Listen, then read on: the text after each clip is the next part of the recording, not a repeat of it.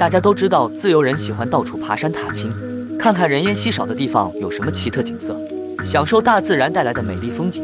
不过，在山野中有一些事情是自由人特别避讳的。今天要跟大家分享的是自由人的山野奇遇。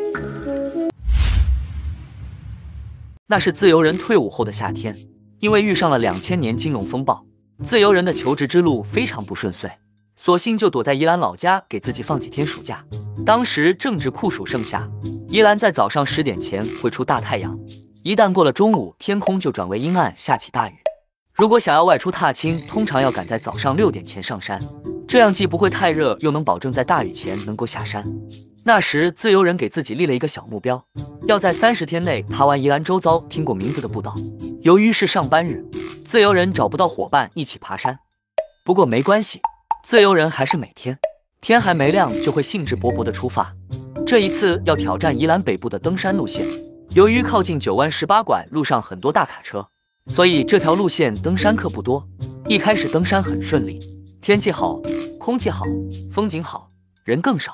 这样清幽的山林，就是自由人喜欢爬山踏青的原因。走着走着，看到路边有一座小庙，大约半个人高，黑黑的小厅堂内点了一盏红色小灯泡，看不太清楚供奉的是什么神灵。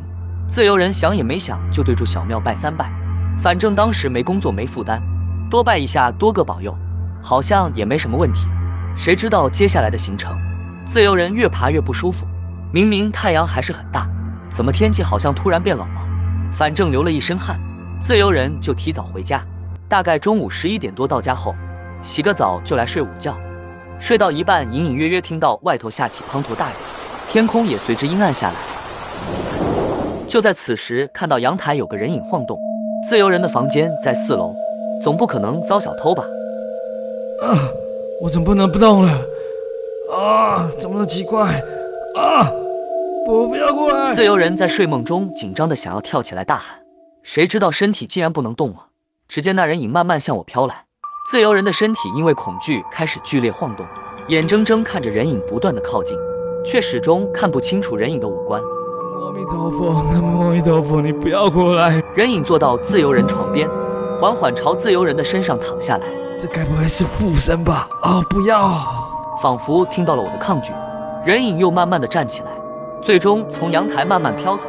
当他飘出去的一刹那，自由人终于可以动了，急急忙忙的跑下楼，对着吃完午餐正悠哉看电视的妈妈大喊：“妈，我肚子鬼啊！”讲完这个鬼故事，自由人的手臂又起了鸡皮疙瘩。请看，现在还有。那在那事件之后，自由人的妈妈带我们宜兰市的文昌庙旁边的一个道观，然后问卜卦问神。然后道长说：“呃，这个人只是好奇跟着我回来，然后也没什么恶意。但是自由人从此之后就对那个山野中的小庙，我都不敢拜，然后也不敢再爬那个步道了。那各位如果问我说那个步道是哪个步道，呃，暂时保密，保密。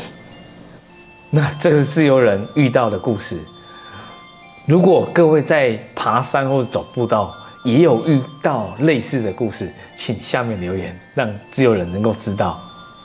谢谢大家，拜拜。